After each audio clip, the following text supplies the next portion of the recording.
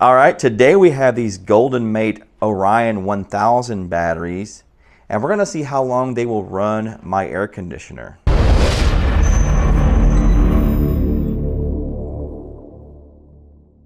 All right guys, so these batteries are 100 amp hour 12.8 volt batteries. So we've got two of them run in parallel. So that's basically gonna give us 200 amp hours at 12.8 volts. And we're gonna run this Midea inverter air conditioner. This is a 12,000 BTU air conditioner. If you're not familiar with an inverter air conditioner, it has the ability to run the compressor at a variable rate. So for one, it has a very soft startup, so it doesn't pull a lot of power on startup. And for two, it can run that compressor at any speed that it needs to to keep up with the cooling demands. So it actually can run the compressor at, uh, at a low speed. So let's go ahead and turn the inverter on. And then let's start the AC. And then let's go ahead and start a timer over here. There we go. We got our timer running. And we're going to do this on low.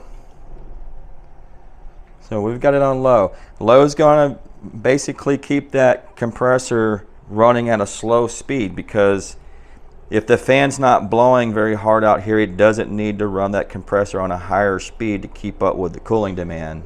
And we can take a look at the batteries because the batteries do have a little power gauge on them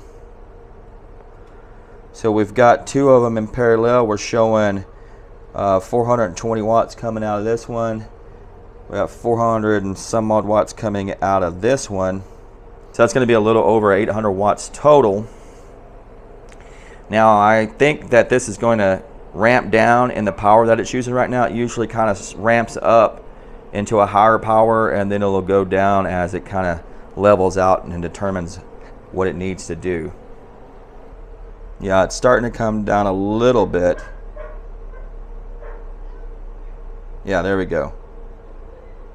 So each battery is doing about, well, each battery is doing less than 300 watts.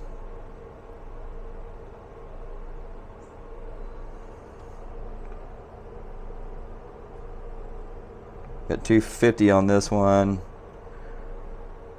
274 on this one. And also depending on the temperatures outside and inside your house, that will determine how much power this thing's gonna draw too.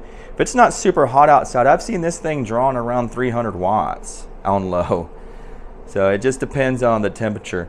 Now the room I'm in, I've got the actual doors open to outside. So it's going to be, it's going to be cooling the whole time. It's not going to really shut down or anything like that. It's, it's never going to actually end up cooling this room off because it's it's open. Unfortunately, that's the only way I can really do this room right now. Maybe later, at a later date, we'll run a, a different test where we have an enclosed room. But I really wanted to run this for you guys because uh, I do a lot of tests where I'm testing batteries and I'm using the AC as a load. and I get a lot of comments in the comments section uh, about I should have started a timer so I could tell you guys how long the uh, AC actually ran. So here we are, we're doing it this time. Okay, so it looks like we're settled in at about 270 on this battery and 258 on this battery. So roughly a little over 500 watts. I'll just let it continue on and we'll come back whenever we've drained these things down. All right guys, so the test is complete. I went ahead and shut down the AC and the inverter. Uh, I shut them down because we did hit about 10.5 volts and that's when the inverter starts to complain and starts beeping. Uh, technically we are still showing 1% uh, on the batteries.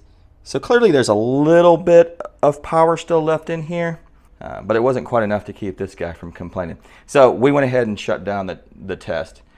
All right, so now here's the big reveal how long did we run the air conditioner?